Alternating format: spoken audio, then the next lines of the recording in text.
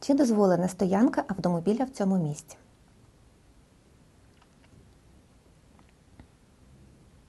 Заборонена. Якщо транспортний засіб унеможливлює рух інших учасників дорожнього руху або створить перешкоду для руху пішоходів.